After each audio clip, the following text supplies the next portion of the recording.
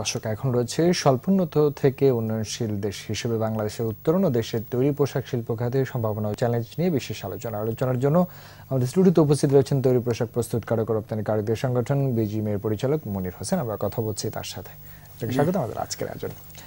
শুরু করতেই চাই যে এই যে উন্নয়নশীল দেশের আমরা প্রবেশ করলাম সবকিছু মিলিয়ে পোশাক খাতে নানা মিশ্র প্রতিক্রিয়া নিয়ে আলোচনা হচ্ছে। আপনার মুখ থেকে সেই বিষয়গুলো শুনব। আমি প্রথমে সবাইকে ধন্যবাদ দিয়ে একটা কথা বলতে চাই যে স্বাধীন, স্বাধীনতা উত্তর। বাংলাদেশে যতগুলি অর্জন হয়েছে, তার মধ্যে সবচেয়ে এই অর্জনটি আমাদের দেশের সর্বোপরি সবার মুখ বিশ্বের বুকে সমুজ্জ্বল করেছে। এজন্যে বাংলাদেশি হিসাবে, একজন নাগরিক হিসেবে আমি গর্বিত এবং আমার মনে হয় আপনারা সবাই এর জন্যে গর্ববোধ করি। আর সাথে সাথে মাননীয় প্রধানমন্ত্রীর নেতৃত্বে গত দশ বছর যে অপ্রতিরোধ্য অগ্রযাত্রায় বাংলাদেশ সার্বিক উন্নয়ন করেছে তার জন্য এদেশের জনগণ এবং মাননীয় প্রধানমন্ত্রীকেও আমাদের বিজিএম এর পক্ষ থেকে আমার পক্ষ থেকে ধন্যবাদ। এবার একটু আসতে চাই যে এই যে উন্নয়নশীল দেশে আমরা কাতারে পৌঁছালাম সেক্ষেত্রে পোশাক খাতের প্রভাবগুলো নিয়ে যদি একটু আলোচনা করেন। এটা খুব ভালো প্রশ্ন। এইটা নিয়েই আমরা প্রায়, প্রায়শই সংবাদপত্রে বা অন্যান্য জায়গায় এই কথাটাই ঘুরে ফিরে আসছে যে পরে কি হবে? আমাদের চ্যালেঞ্জ কি? আসলে আমাদের যে সমস্ত সুবিধা, বিশেষ করে জিএসপি যে অগ্রাধিক, অগ্রাধিকারমূলক যে সুবিধাটা আমরা পাচ্ছি ইএবির আওতায় এভরিথিং বাট এক্সেপ্ট আর্মস ছাড়া, এই সুবিধাটা দুই হাজার সাতাশ সাল পর্যন্ত অব্যাহত থাকবে। দুই হাজার সাতাশ সালের আগে যে প্রায় নয় বছর টাইম আছে এই সময়ে আমাদেরকে যে সমস্ত সমস্যাগুলি আছে এরপরে হবে হলো জিএসপি প্লাস এটিও একটি শুল্কমুক্ত সুবিধা এবং কোটামুক্ত সুবিধা। তবে সব পণ্যে না। এবং কিছু শর্ত সাপেক্ষ আছে, যেমন আইএলওর সাতাশটি কনভেনশনে আমাদেরকে সই করতে হবে, সেগুলি প্রতিপালন করতে হবে, এর ভিতরে কর্মক্ষেত্রে এবং সুশাসন ইত্যাদি আছে। এগুলি কিন্তু গার্মেন্ট সেক্টরের জন্য অনেকগুলি প্রায় করা।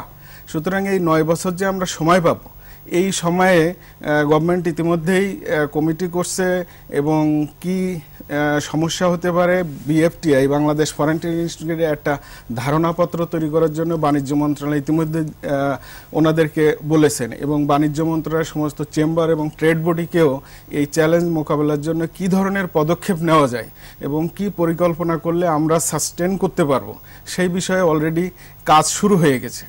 এবং গভর্নমেন্টের সর্বোচ্চ পর্যায়ে যে কমিটিটা টাস্ক ফোর্স করা হয়েছে ওখানেও ওই ন্যাশনাল টাস্ক ফোর্সে এইগুলি জমা দিবে। যার ফলে আমরা যেটা এখন এখন আতঙ্কিত হওয়ার মতো কিছু হয়নি। বরং আমাদের সবসময় চ্যালেঞ্জ ছিল। চ্যালেঞ্জের ধরনটা অন্যরকম ছিল। এবার চ্যালেঞ্জের সাথে কিন্তু একটা আনন্দের মাত্রা আছে। সুতরাং আমাদের এই যে নয় বছরের সময় সুষ্ঠু পরিকল্পনা নিয়ে যদি আগানো যায় তাহলে আমার মনে হয় না যে আমরা পিছনে পিছু সামনের দিকেই আমরা। হবে কারণ আমাদের কোনো উপায় নেই। কারণ মানুষ তো উপরের দিকেই যাইতে হবে আপনার এখন তো উন্নয়নশীল। এরপরে তো উন্নত। তো আমরা তো পিছনের কোনো চিন্তাই করা যাবে না। সামনের দিকে আমাদেরকে ভাবতে হবে। হ্যাঁ উন্নত একচল্লিশ সালের ভিশনে তো আমাদেরকে এখন থেকেই কাজ করতে হবে। এই জায়গাটা একটু যোগ করতে চাই যে বিষয়টা আমরা সামনের দিকে চ্যালেঞ্জ থাকবে কিন্তু আমাদের যে সক্ষমতার জায়গাটা বিশেষ করে আমি বন্দর নিয়ে আলোচনা করতে চাই সেটি ঘুরে ফিরে আসছে বেশি। সেই জায়গাটায় যদি একটু যোগ করেন। হ্যাঁ এখন আমাদের যে মেন যে সমস্যাটা, সেটা হলো যে আমাদের যে অবকাঠামো, এগুলি যদি পর্যায়ক্রমে উন্নত করা যায়, তাহলে আমরা কিন্তু উন্নয়নশীল দেশ হলে আমাদের কিন্তু ইনভেস্ট পাওয়ারও একটা সুযোগ আছে। কারণ আমাদের আস্থার প্রতি আরও আস্থাবান হবে।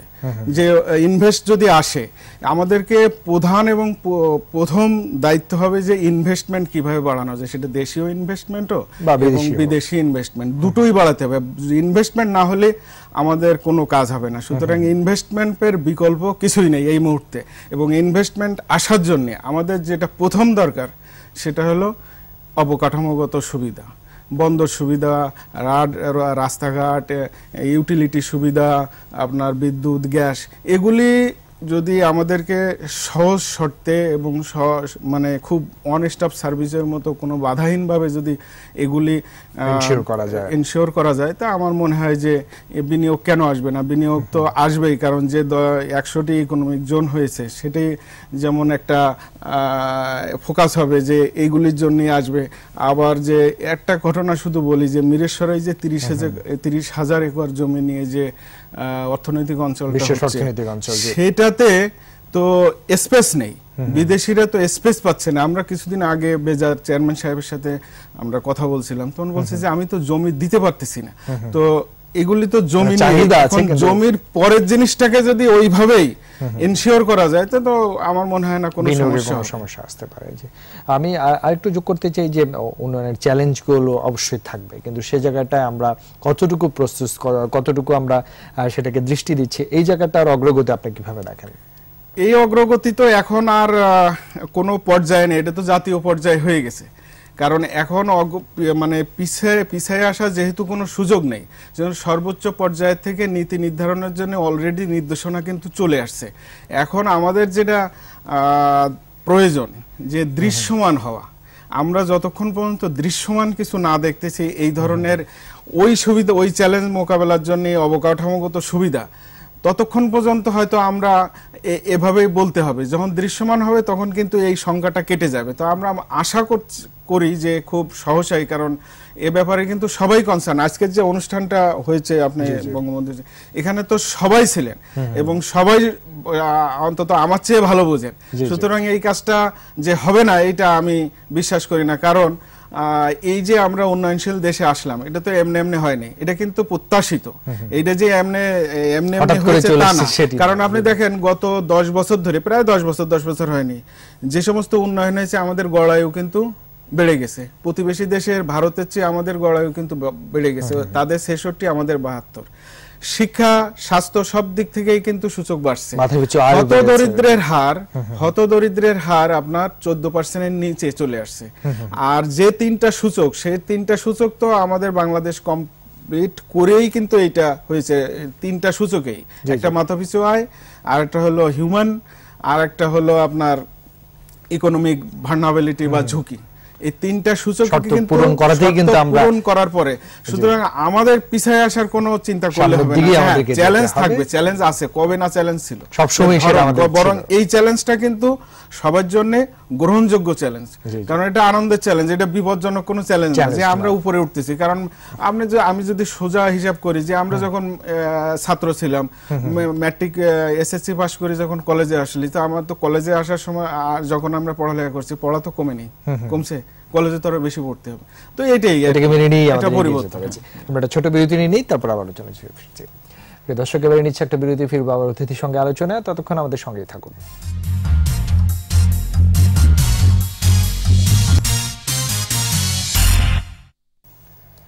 স্বাগত আবারও একুশে বিজনেসে দর্শক বিরতির আগে স্বল্পোন্নত থেকে উন্নয়নশীল দেশ হিসেবে বাংলাদেশের উত্তরণ তৈরি পোশাক শিল্প খাতের সম্ভাবনা চ্যালেঞ্জ নিয়ে কথা বলছিলাম। তৈরি পোশাক প্রস্তুতকারক ও রফতানিকারকদের সংগঠন বিএইচএম পরিচালক মনির হোসেনের সঙ্গে। আমরা আবার আলোচনায় ফিরছি। এবার একটু আসতে চাই যে আহ, সরকার বিশেষ অর্থনৈতিক অঞ্চল যেটা একটু আগে আপনি যোগ করেছিলেন যে সেখানে বিজিএমের সাথে একটি সংযোগ চালক সই হয়েছে পাঁচশো একর জমি এবং ভবিষ্যতে আরও সম্ভাবনা রয়েছে। এই জায়গাটি আসলে এই শিল্পে কি প্রভাব রাখবে?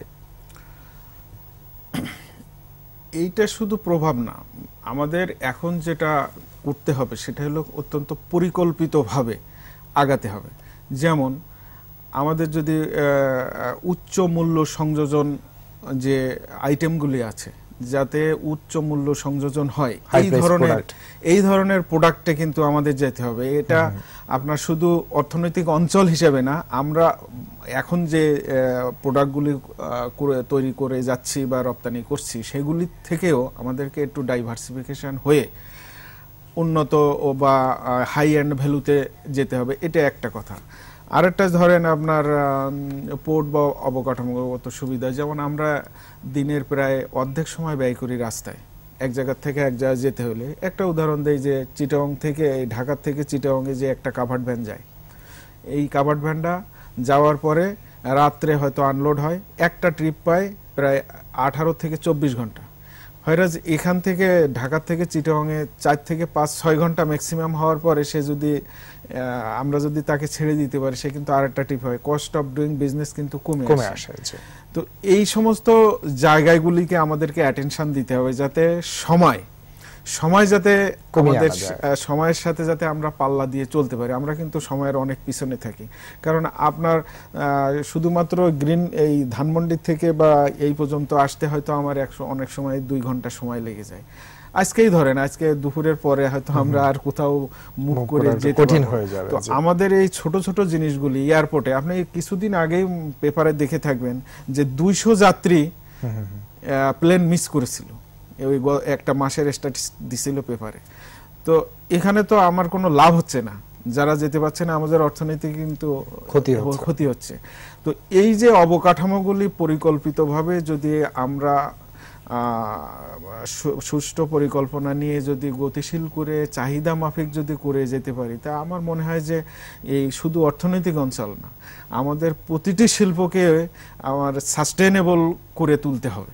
সেটা করার জন্য যা যা দরকার। আমরা যেমন আমরা অনেকগুলি সাজেশন গভর্নমেন্টকে বা অথরিটিকে দিচ্ছি যে আমাদের এই দরকার এই অবকাঠামো দরকার। গভর্নমেন্টও এটা নিয়ে চিন্তা ভাবনা করতেছে। আমার মনে হয় যে যদি এটি সুষ্ঠুভাবে সময় মতো আবার যেমন আমার এখন দরকার হলো এইট হুম। এখন চার লেন Four lane-ই এখন আমরা শেষ করতে পারিনি ওই চিন্তা করলে হবে না। আমাকে একটু আগের মানে একটু সামনে চিন্তা পরিকল্পনা নিয়ে সেটা সেটার একটা নমুনা আমরা পাই যেহেতু এখন হলো একুশ টোয়েন্টি টোয়েন্টি ওয়ান মিডিল ইনকামের দেশের ভীষণ আছে এরপরে উন্নত দেশের একচল্লিশের ভীষণ আছে। তো এই ভীষণ যদি ফাংশন করে, তাহলে আমার মনে হয় যে হবে। ওই ভীষণ যদি টার্গেট রাখে, বা তিরিশ সালে আপনার এসডিজি সাস্টেনেবল ডেভেলপমেন্ট গোল এর যে সবগুলি যদি, এর ভিতরে আপনার গত কয়েকদিন আগে প্রাইম মিনিস্টারের দপ্তরে আমাদেরকে একটা মিটিংয়ে ডাকা হয়েছিল, এটা হলো গত উনিশ বোধহয়। ডেটটা ঠিক নেই আমিও ছিলাম সেখানে। সেখানে আমাদেরকে বিজনেস সহজীকরণের জন্য গভর্নমেন্টের স্টেক হোল্ডাররা এবং আমরা বিজনেসের যারা আছি তাদের কাছ থেকে একটা মত বিনিময় হয়েছে যে আমরা কি চাই আর কি সমস্যা আমাদের বাধা কোথায় রপ্তানি বাড়ানোর জন্য অন্তরয় কোথায় সেগুলি আমরা জমা দিছি প্রাইম মিনিস্টার অফিসে তো আমার মনে হয় এগুলি নিয়ে কাজ করলে এইগুলি আমার মনে হয় যে সলভ হয়ে যাবে। আশা করি। আমি একটু আসতে চাই যে আরেকটু বিষয় যে আমি একটু আগে আমরা যেটা বন্দর নিয়ে কথা বলছিলাম যে কার্গো হ্যান্ডলিং এর জায়গাটি এবং আধুনিক করা সেখানে সময় জট লেগে যাচ্ছে কাস্টমস অথরিটি যদি এখন চব্বিশ ঘণ্টা মাননীয় প্রধানমন্ত্রী নির্দেশে কাজ করছে এই জায়গাগুলো আরও বেগওয়ান করা বা ফাংশনাল করার জায়গাটা আপনাদের মতামত কি এটা ফাংশনাল করার জন্য এটা তো চলমান প্রক্রিয়া আমরা এটি প্রতিনিয়ত মনিটরিং করতেছি মিটিং করতেছি ওনাদের সাথে এবং ওনারাও চেষ্টা করতেছেন যে নতুন ইকুইপমেন্ট এবং আরও কয়ে জেটি নির্মাণ করা। বে নামে আর একটা জেটি হচ্ছে মংলা পোর্টকে ফাংশন আরও বেশি গতিশীল করার জন্য উদ্যোগ নেওয়া হয়েছে এবং পদ্মা সেতু যখন চালু হবে তখন কিন্তু এই মংলা পোর্টটা আরও ভাইব্রেন্ট হবে। তখন চিটাং পোর্টের চাপ একটু কমবে। তো এগুলি আমাদের আশা। কিন্তু সব আশার ভিতরে কিন্তু যে ফাংশন যদি আন মানে বাধাহীনভাবে যদি চলে এবং ওই যে চারটা গ্যান্ট্রিকেন ছিল তার দুইটা গ্যান্ট্রিকেন যে জাহাজের ধাক্কায় ভেঙে গেল এখনও যে সেগুলি রিপ্লেসমেন্ট হয়নি এরকম হলে হবে না। এটা ব্যাকআপ থাকতে হবে এবং পরিকল্পনাটা ওইভাবেই নিতে হবে। আমার মনে হয় সবাই সবাই জিনিসগুলি বুঝেন এবং সব জিনিসগুলি কিন্তু পয়েন্ট আউট করা আছে। শুধু দরকার হলো সংযোজন সমন্বয় এবং সহযোগিতা। এই জায়গাগুলো। এই জায়গাগুলিতে এখনও গ্যাপ আছে যে নেই তা না এখনও গ্যাপ আছে। এবং এই গ্যাপগুলি কখন পূরণ হবে? শুধুমাত্র সরকারের সদিচ্ছা বা ব্যবসায়ীদের সদিচ্ছা দিয়ে হবে না। যারা সংশ্লিষ্ট হ্যাঁ, বাস্তবায়ন হ্যাঁ, করবেন যে- তাদের কিন্তু বড় একটা সহযোগিতা হ্যাঁ, লাগবে। তাদের কার্যক্রমের প্রতি আস্থা এবং গতি যখনই আসবে তখন আমাদের পিছু পিছনে তাকানোর কোনো প্রয়োজন নেই। সামনের দিকে আমরা বেগবান হতে পারব। আমরা আশা করব সংশ্লিষ্ট সকলকে নিয়ে মাননীয় প্রধানমন্ত্রী এবং ব্যবসায়ী উদ্যোক্তা যারা রয়েছেন এবং যারা সংশ্লিষ্ট কর্তৃপক্ষ রয়েছেন সকল স্টেক হোল্ডারকে নিয়ে আমরা এই সময়গুলো ভালোভাবে উতরে যেতে পারব। সে প্রত্যাশা রাখছি। আপনাকে অনেক ধন্যবাদ। আপনাকেও ধন্যবাদ। প্রিয় দর্শক এখন দেশ উন্নয়নশীল দেশ হিসেবে বাংলাদেশের উত্তরণ ও তৈরি পোশাক শিল্প খাতের সম্ভাবনা এবং চ্যালেঞ্জ নিয়ে কথা বলছিলেন তৈরি পোশাক প্রস্তুতকারক রফতানিকারকদের সংগঠন বিজুমের পরিচালক মনির হোসেন। দর্শক, এবারে নিচে আর একটা বিরতি, বেলা আড়াইটে ফিরবে একুশে বিজনেস আবার ততক্ষণ আমাদের সঙ্গেই থাকুন।